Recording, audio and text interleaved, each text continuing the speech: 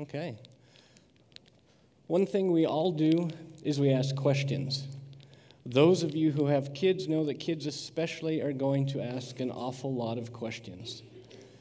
I was around eight to nine years old. I was on a Boy Scout hike out in Wolverine Canyon, just outside of town here, and I happened to find my first fossil. With a little bit of investigation, I found that this fossil was from a little animal that lived in an ocean that covered Idaho more than 300 million years ago. It excited me then, and I still find it exciting that this little animal that lived right where we stand now lived in what was also essentially an alien world so long ago. Ever since I found that fossil, I've had the question who was here before.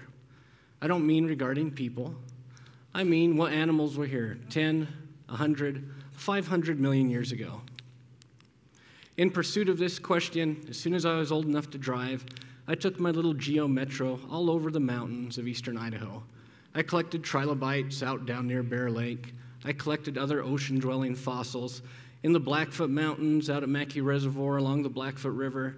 I collected plants near salmon. I never quite got rid of the fossil bug.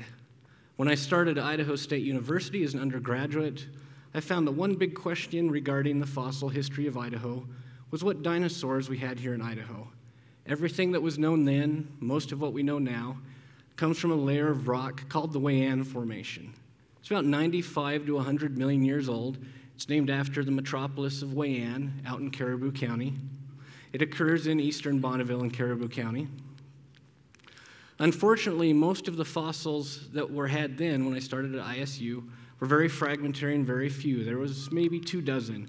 They consisted of isolated eggshell fragments, a few teeth, a few isolated bones, and two partial dinosaur tails that you see right there. The problem is, even with this modest abundance of Idaho dinosaurs, only two of these fossils were actually identifiable to a specific sort of dinosaur. They didn't tell us a lot. And they're very exciting. You see those two fossils right there two teeth, no bigger than your thumbnail, both from plant eating dinosaurs. The one on the left from an animal called a nodosaur, the guy with the spikes. The one on the right from an animal called an iguanodont. So I made the goal there as an undergrad at ISU to see what I could do to find out more about Idaho dinosaurs. First, how do you go about looking for a dinosaur? It's not like you see in the movies, you don't go out and randomly dig a pit. First, you need to find rocks of the right type. You need rocks made from mud, sand, or silt that could have buried a dinosaur when it wandered too close to a river during a flood or died out in a floodplain. Also, you need rocks of the right age. If you're looking for dinosaurs, that would mean rocks that are around 66 to 225 million years old. Very importantly, you need, need permission. You can't just randomly go out and pick up dinosaurs wherever you please. You'll get in a lot of trouble if you do that. Also, you need to be persistent. It's not easy to find a fossil. Part of this involves what I call the calibrated eye. What I mean by the calibrated eye is you have a mental search image of whatever it is that you're looking for, and you expect that you know what it looks like. As an example, on the left of the slide there, you'll see a bunch of rocks. I took this picture out in the desert of eastern Utah. There's nothing fancy there. I wouldn't blame you for walking right past it. However, if you're a paleontologist, you're going to have an eye calibrated for fossil bone. You might notice those blue rocks you see interspersed among the others, and you'll think, oh, Sometimes fossil bone is blue. I better have a closer look. You might pick it up, see that those rocks have a spongy texture, just like bone marrow, and you'll realize, oh, there's actually fossil bones scattered here. Also, if you think of dinosaurs, stereotypically they're ridiculously large, so you're going to look for big bones, like you see on the right there underneath my hammer. Unfortunately, Idaho is not a dinosaur hunter's paradise. One of the main problems that we have is the lack of exposed rock. You see on the top of the slide there, out in an area of Bonneville County where I do a lot of my hunting, you probably notice there isn't any rock. That's a problem. Almost all the rock is overgrown with vegetation. The few outcrops we do have, you see the best example I know of there on the bottom, has actually produced, even though it's just a small area, just about five dinosaur skeletons. So we know the rock's really productive, we just wish there wasn't as many plants. Even though we don't have a lot of rock exposed, we know what Idaho was like about 100 million years ago. If we could travel back in time and step out of the auditorium here and look off to the west, you'd see a low range of mountains, nothing too different. We'd be standing on a gently inclined floodplain, again, not too different. The fun starts. If you were to go about 20, 30 miles east, you'd be on beachfront property. You'd encounter what's called the Western Interior Seaway. You could go for a swim, the water would be warm. If you're lucky, you'd probably get eaten by something swimming in the water. Now, when I started ISU looking for dinosaurs, just like previous workers, I didn't have a lot of luck. The first few years, I found fragments of bone hinting at various animals, but absolutely nothing that could tell me what the actual animal was. However, finally, on the hillside you see pictured on the right, my colleagues and myself started to hit pay dirt, and I found my first identifiable Idaho dinosaur. And I brought that bone to show you guys. Let me fish it out here.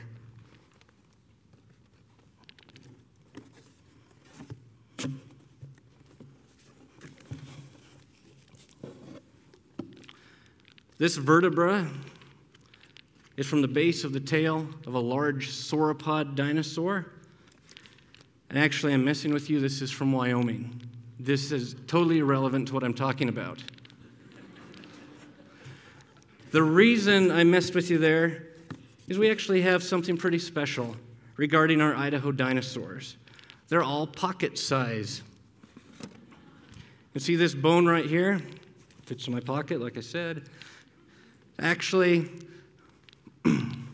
this animal is what's called an Oryctodromeus. Oops, there we go. Maybe. It's the most common Idaho dinosaur. It's very small. Small dinosaurs are usually very rare.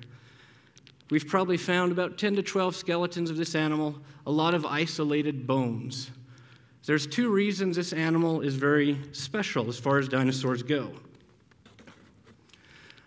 Number one, it's the first known burrowing dinosaur. The Specimens found out in Bonneville County, Caribou County, and some of the first specimens actually found out near Lima Peaks, just inside Montana, were found inside fossilized burrows. You can see an example there on the right. Second reason this animal is important, we actually know that it cared for its kiddos. In some of these burrows where we have skeletons of the adults, we've also found skeletons of some of the unfortunate kids. Orycto is not very big He's about 11 feet long, 7 feet of that being tail, and he's about collie sized. I'll show you an example of a skull here, too.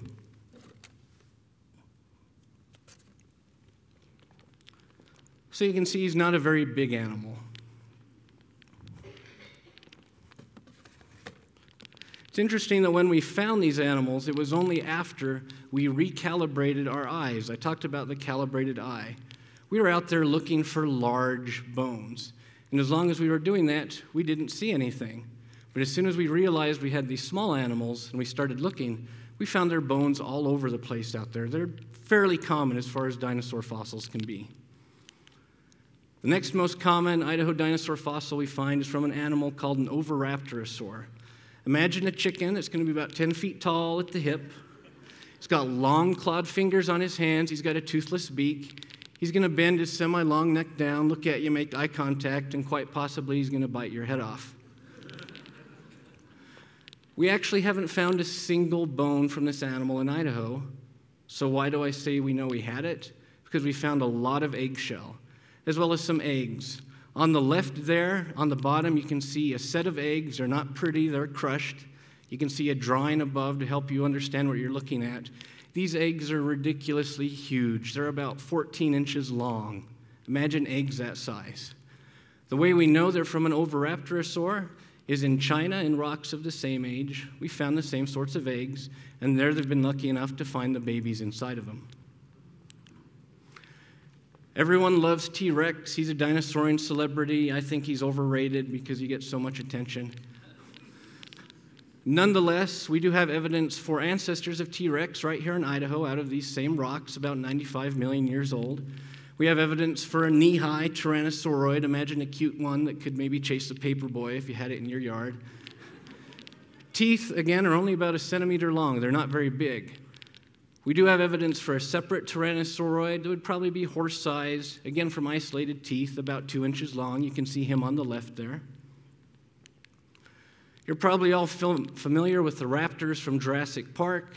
We know about these animals from these same rocks again, again from isolated teeth, indicating animals maybe from the size of a crow up to about collie size. The teeth are about a third of a centimeter long to maybe half an inch long. And that was them right there. I'm not good with the clicker. Okay. Next, I mentioned that we have nodosaurs known from an isolated tooth at the beginning.